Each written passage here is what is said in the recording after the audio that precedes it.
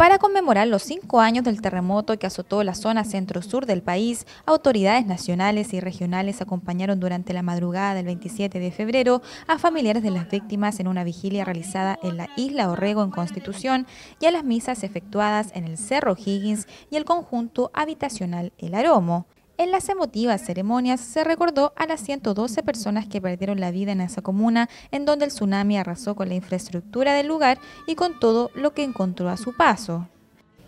Sentir, acompañar el dolor de las familias que perdieron a sus familiares,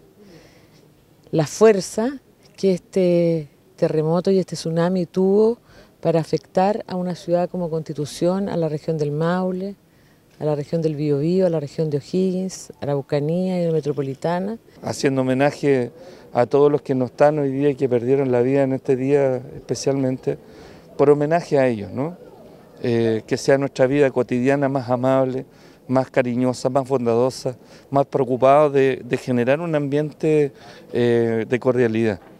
la Facultad de Psicología de la Universidad de Talca ha trabajado, luego de ocurrida la catástrofe, el impacto psicológico y social que implicó este evento en la región, proceso de aprendizaje que ha evolucionado en los últimos cinco años. Van a tener una reacción positiva, digamos, después de un evento. les va a afectar en una primera instancia y luego van a recuperarse o van a resistir a ella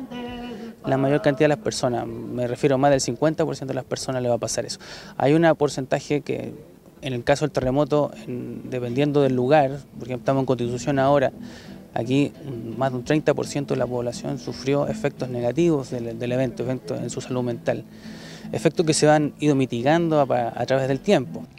Por la misma situación, la universidad se toma esto en serio y con el área clínica de la facultad se creó un centro de atención psicológica basado en el tratamiento del estrés traumático, que es justamente lo que se produce después de un desastre natural como lo ocurrido el 27F.